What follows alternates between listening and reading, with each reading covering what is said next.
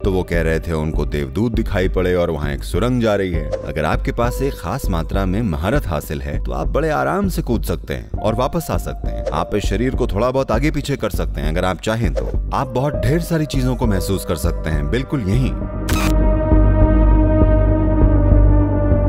जब हम कहते हैं मृत्यु तो एक लेवल पर मृत्यु की परिभाषा यह है कि आपने शरीर खो दिया है। यही तो मृत्यु का मतलब है।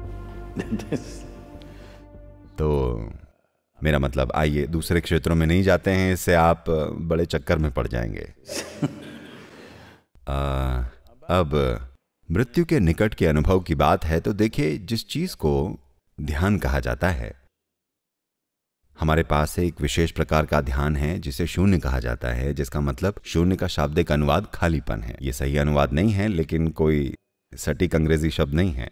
तो खालीपन है या कुछ ना होना है।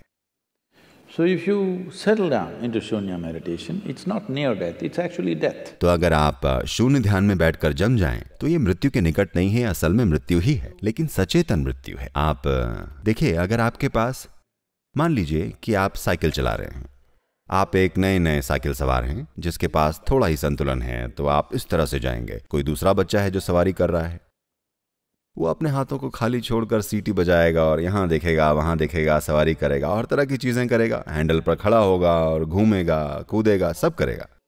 क्यों? ये एक तरह की महारत है। एक खास संतुलन और महारत है। तब आप साइकिल से कूद सकते हैं और फिर से वापस आ सकते हैं, ये सब कुछ कर सकते हैं। इसी तरह अपने शरीर के साथ भी अगर आपके पास एक खास मात्रा में कुशलता है तो आप आसानी से कूद सकते हैं और वापस आ सकते हैं। अब ये गलती किसी दवा की वजह से हो रही है या कई लोगों के साथ साठ सत्तर के दशक के दौरान जब एलएसडी का समय था बहुत सारे लोग थे जो इसके बारे में बात कर रहे थे। सर आपकी बारी है। वो आपका समय था। कह तो सकते हैं।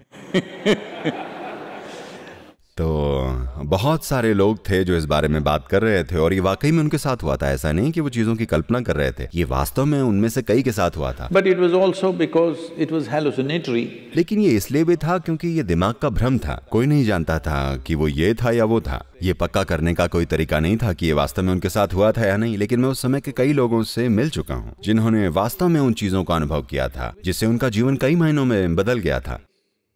एक अजीब तरीके से लेकिन अचानक उनके बारे में सब कुछ बदल गया, सिर्फ़ इसलिए कि कहीं ना कहीं उन्हें आभास हो गया था कि शरीर को थोड़ा आगे पीछे किया जा सकता है। अगर आप चाहें तो ये स्थायी चीज़ नहीं होती।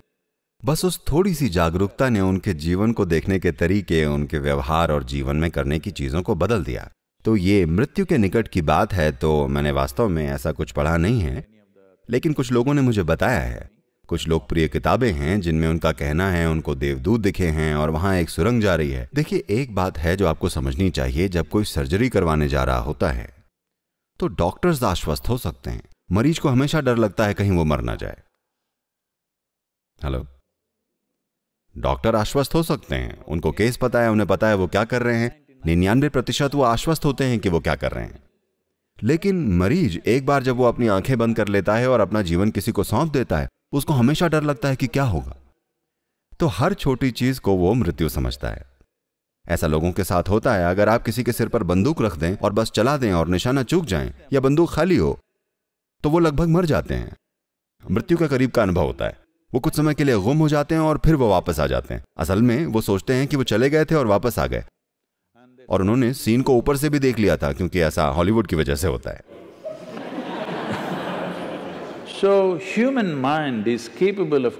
तो मानव मन अनुभवों के अनेक आयामों को बनाने में सक्षम है। इसको मृत्यु के रूप में नहीं समझ लिया जाना चाहिए।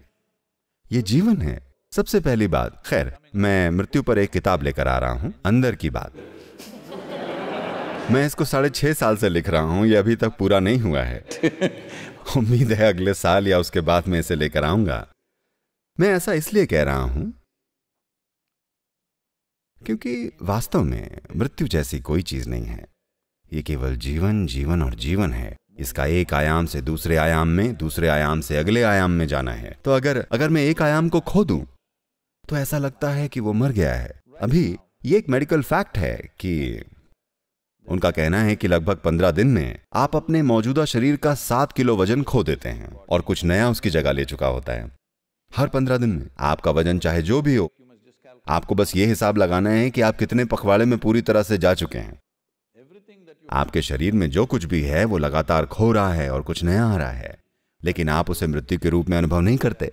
हर भोजन में, हर रोज आप जो अपना पेट खाली करते हैं, आपके लिए ये मृत्यु के करीब का अनुभव होना चाहिए, लेकिन ऐसा नहीं होता।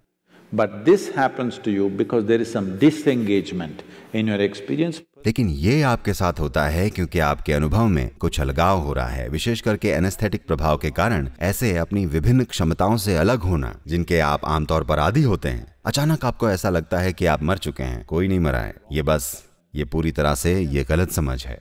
हाँ आपके जीवन का हर पल, अगर आप इच्छुक हैं, यदि आप स्थितियों और अपने जीवन के विचारों और भावनाओं में नहीं उलझे हैं तो बहुत बहुत सी चीज़ें हैं जो आप यहीं अनुभव कर सकते हैं। आप यहीं, यहाँ बैठे बैठे अपने जीवन को वहाँ से देख सकते हैं, ठीक है? ये मृत्यु के निकट का अनुभव नहीं है, ये जीवन है। लेकिन, क्योंकि जैसा कि मैंने कहा, दुर्भाग्य से बहुत सारे लोगों के लिए क्षमताओं की कमी होना अच्छी तरह से काम करता है, ये अच्छी बात नहीं है। ऐसा हुआ। एक आदमी अपने एक घनिष्ठ मित्र से 25 साल के अंतराल के बाद मिला, जिसे वो अच्छे तरीके से जानता था जब वो यूनिवर्सिटी में साथ में थे। तो उसने उसे रात के खाने के लिए घर पर आमंत्रित किया। और एक भारतीय परिवार होने के नाते पत्नी सेवा कर रही थी और ये दो आदमी खाना खा रहे थे। और हर बार जब उसे अपनी पत्नी से कुछ चाहिए होता था, कुछ मांगना होता था तो वो कहता, मेरी हनी, मेरी स्वीटी पाए, मेरी बू बू बू मेरी कुकू मेरी बुलबुल और जो भी होता है। आप तमिल हैं, इसलिए मेरी थंगम, मेरी चुच्चू और वो सारी चीज़ें। तो खाना होने के बाद दोस्त निकलने को था। और वो बोला, तुम कमाल की ज़िंदगी जी रहे हो, है ना? मेरी पत्नी के साथ मेरी शादी को पंद्रह साल हो गए हैं। हम एक दूसरे की शक्ल भी नहीं देख सकते। जिस तरह से तुम अपनी पत्नी पर जैसे प्यार बरसा रहे हो, वो वाकई शानदार है। वो बोला, तुम क्या बात कर रहे हो? उसने कहा, तुमने उसे बुलबुल कहा, तुमने थंगम बुलाया, तुमने उसे वो कहा। उसने कहा, अरे यार, मैं उसका नाम सात साल पहले ही भूल चुका हूँ।